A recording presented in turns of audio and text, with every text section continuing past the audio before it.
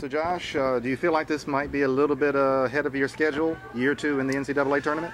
Well, Leroy, you know, and, and you're, you're one of my main men. You know that. You know how it has been a grind this year, Yes, and uh, I mean, you've been right there with us, and you know how it is. It's been ups and downs, peaks and valleys.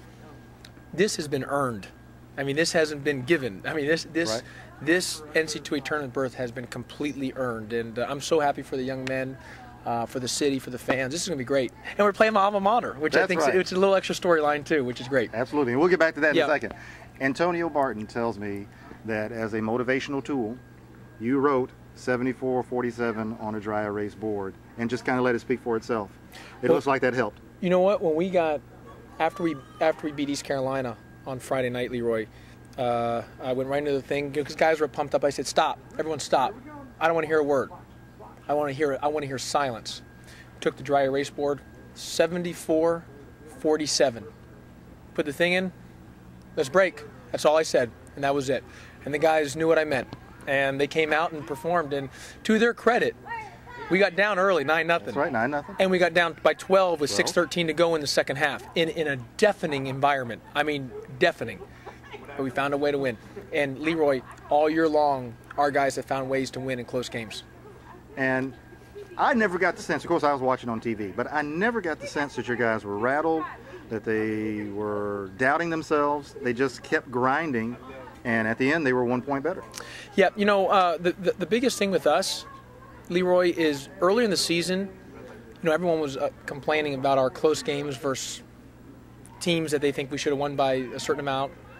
Those those games helped us learn how to win, and those close games helped us learn how to win. That's the bottom line. So, um, you look back at it and you realize that um, things things work out. Is deeper than it looks on the surface. That's the bottom line. 13 and 1 in games divided by five points or less. Some people would say there's too many games decided by five points or less, but still, it's a very sobering statistic for this young team to be able to find ways to win those games. Leroy, you're a basketball guy. I mean, I mean, when you're in close games, I mean, you be like you just said we're 13 and one. We could easily be seven and seven. Right. You could easily be five and five and nine. I mean, you know, because a, a shot here, a rebound there.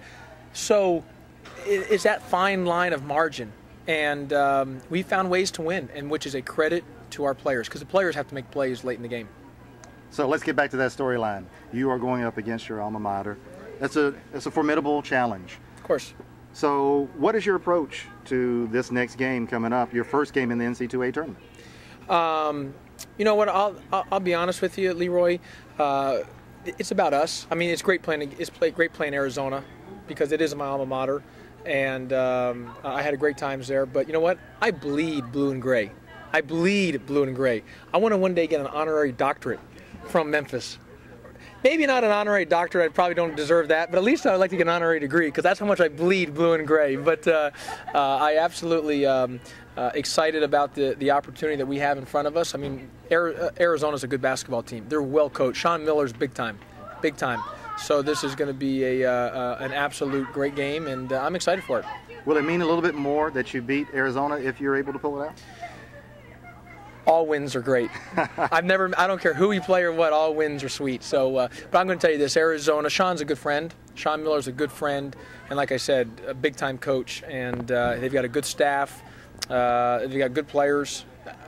Derrick Williams, I thought we were going to sign him here at Memphis. He came on a visit, and I actually voted him for National Player of the Year. So that's the type of respect I have for Derrick Williams. All right. Congratulations, Josh Okay. Pastner. You're Thanks, a conference Leroy. champion. Thank you so much. Thank right. you.